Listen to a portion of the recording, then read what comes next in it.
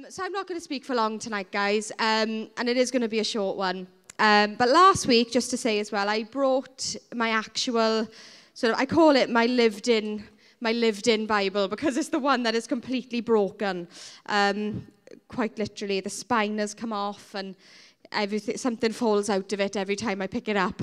Um, but a couple of you last week expressed an interest in wanting to have a look through it. It's not private. You are welcome to just come and have a flick through it, see what I've written, whatever. Um, I, obviously, as I said last week, I understand that sometimes um, when you think of a Bible, you think of like looking like it's barely been touched and like you're not allowed to touch it at certain times or you're not allowed to highlight it, you're not allowed to do anything. I've kind of passed that line a long time ago. My Bible is completely ruined because um, I've had it for a long time. But I would be happy if you guys, I'm going to leave it here, if you guys just wanted to have a little look at it, see what you think. It's completely up to you. No pressure though. It's just, I want to give you guys the opportunity if you'd like to. Um, so this, oh, flip, and it's heavy. Right, this um, this week I want to speak on something which, again, I, I love, and it's a portion of, of the Bible that really brings me comfort, and I hope that it would, it would you as well. Um, so this is from Matthew 14. And I think a lot of us have heard of this happening. Perhaps we haven't read it, but we've heard of it happening. Um, so this is Jesus walks on water. You heard of that? Yeah, okay, cool. So um, immediately Jesus made the disciples get into the boat and go on ahead of him to the other side while he dismissed the crowd. After he had dismissed them, he went up on a mountainside by himself to pray. And later that night, he was there alone, and the boat was already a considerable distance from land, buffeted by waves and because the wind was against it. Uh, shortly before dawn, Jesus went out to them walking on the lake. When the disciples saw him walking on the lake, they were terrified. It's a ghost, they said, and cried out in fear. But Jesus immediately said to them, Take courage, it's me. Don't be afraid. Lord, if it's you, Peter replied, tell me to come to you on the water. Come then, he said. Then Peter got up out of the boat, walked on water, and came towards Jesus. But when he saw the wind, he was afraid, and beginning to sink, cried, Lord, save me. Immediately, Jesus reached out his hand and caught him. You have little faith, he said. Why do you doubt? And when they climbed into the boat, the wind died down. Then those who were in the boat worshipped him, saying, Truly, you are the Son of God. So let's set the scene a minute, right? So you've got, they were on, on a plot, plot of land, and basically there was a, a, lake in front of them, and there was a boat, and Jesus said, Right, all of you disciples, get into the boat. I'll follow you later. You go. So all the disciples, they get in the boat, they sail out. Jesus, there's a massive crowd. Wherever Jesus went, there was always a crowd because he was healing people. He was, you know, doing miraculous things. Um, and so there was always something to do, always something that was going on. Um, and so so basically, he was told these people, go, I'm going to sort out all of these people. So there were masses and masses of crowds of people. Um, and so Jesus stayed behind and sort of dismissed them, telling them, you can go home now, I'm leaving, I'm off, tra. So the disciples got in the boat, off they went, and they were already a considerable distance away. And basically, the the weather wasn't great, let's just put it that way. The weather was a bit rubbish because it says that the wind and the waves were against it, right? So you can imagine now a boat. This wouldn't have been a cruise ship. This wouldn't have been a QE2, right? This would have been a little rickety old boat, which would not have been able to hold a lot of people safely and comfortably. Um, however, they were in it, and this weather was really bad. And so they're doing, the, they're doing the work, you know, they know how to deal with these things, they've had to. And so they're sorting it all out, and then they look out and they see somebody walking towards them, but it's on the water. Now, do you guys ever remember Dynamo, the magician? Do you remember Dynamo? Yeah? Okay, so I remember back years ago now, he, he walked on the Thames. Do you remember that? Oh my gosh, it blew my mind. I couldn't believe it. And so you can imagine what these disciples were like in the boat, right? They are in the middle of this lake. It's absolutely chucking it down. The boat is about to capsize at any moment, and they see somebody walking towards them. And so naturally, they say it's a ghost. I don't know what I would think it was, but I definitely wouldn't think that it was a human because in my mind, I'm like, humans can't do that. And so they are shouting, oh my gosh, it's a ghost. And they're terrified, they're filled with fear already from the weather, but now also because there is a ghostly figure walking towards them. And so they look out, and then this figure says, Don't worry, don't worry, it's me, it's okay. And instantly they knew his voice. They knew his voice, they knew it was him. And so they were like, Oh, but then Peter, he's feeling a little bit courageous and a little bit, Oh, I'm gonna, all right then, we'll see about that. So he says, If it's you, tell me to come to you on the water. So he tests him a bit. He's like, Come on, all right then, if it's you, tell me to come out to you and I'll walk on water. You tell me. And so Jesus says, All right then, Out you come. So Peter, obediently, swings his legs over the boat, puts his feet on the water. He's looking at him and he's starting to walk on this water. And so you can imagine the freedom. Now, again, a little movie reference. Um, Bruce Almighty. Have you seen Bruce Almighty? It's a bit old. Anyway, yeah? So there's a bit on there where he starts walking on water, and it's really, really funny. I encourage you to watch it. It's actually a fantastic film.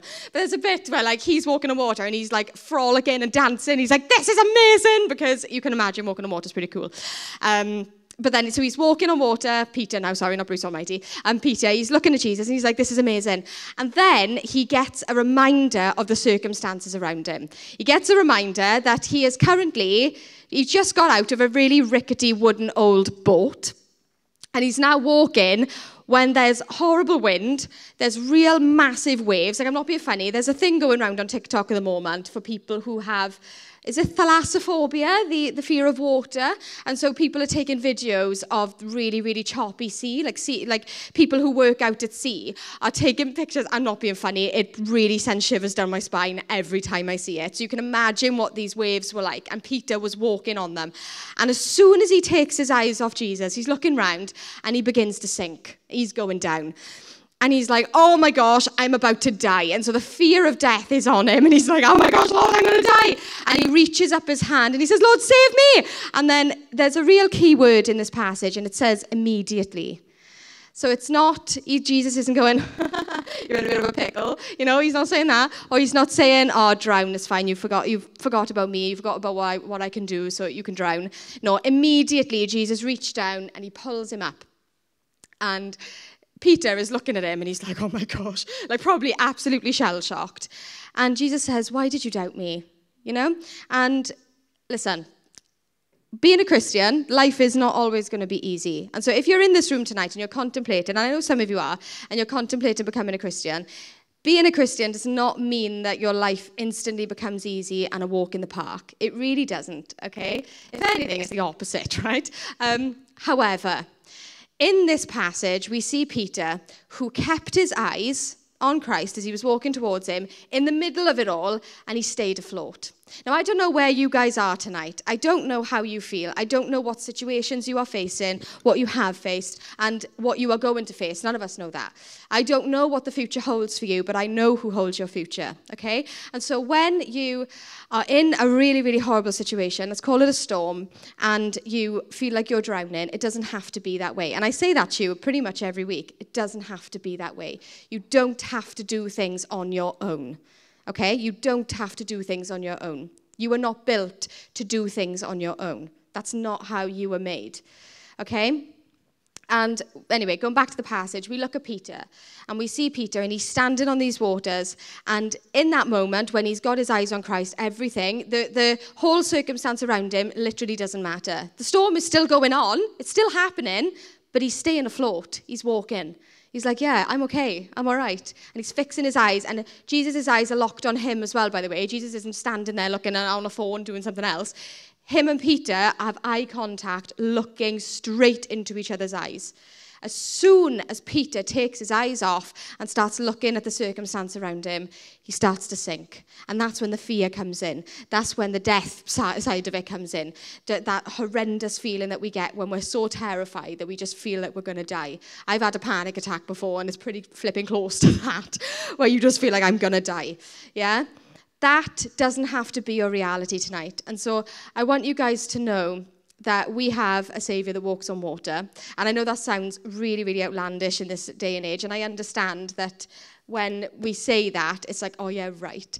But I'm serious, right? Because there have been many times in my life where I have been sinking. I've been completely drowning, whether it's in anxiety, whether it's a relationship breakdown, a family problem, and I have been completely overcome, overwhelmed, stressed out of my head, and just not myself, really, really not myself. But I praise God every day that my lifeguard walks on water because every single time I've been pulled out. Every single time, currently, I am being pulled out every day. Every single day. None of us knows what each other's facing in this room, okay?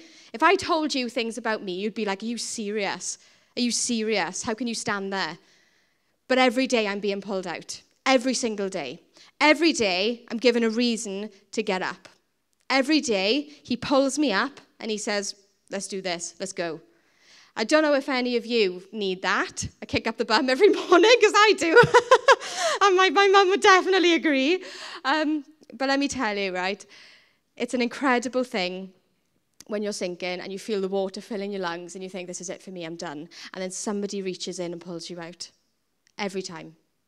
Every single time. And I'm telling you now, guys, I'm living in that right now. I can't go into it, but I'm living in that right now. Right now. And so I'm not speaking about this in, in a way of, oh, yeah, that, I, that's been and gone. My life at the moment is crazy. Crazy. Okay? I really, I really wish that I could tell you, but I can't. But I, my life at the moment is crazy. But I'm here today, guys, because Jesus pulls me up every day. He really does. Every day I'm drawn back to Him. And that can be your reality. That can be where you are, where even though the storm of life is just going absolutely mental around you and nothing seems to be going right, you, you have a purpose. And every day He can pull you up. And every day He can say, Come on, we're going to do it together.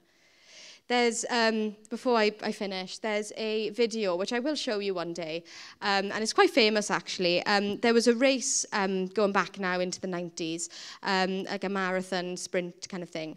Um, and the, the runners were running and it was obviously these athletes, they train for most of their lives for this moment. They want to get into the Olympics and any athlete who trains for the Olympics will tell you that is all you think about day in, day out. You train, whatever you eat, whatever you do in your day, how you exercise, it's all geared up to that moment. And so all of these athletes were running around this track and it was coming to the end and one of the players, runners, I should say, one of the runners falls. He pulls his hamstring, right? Absolutely devastating injury for an athlete, particularly a runner, okay?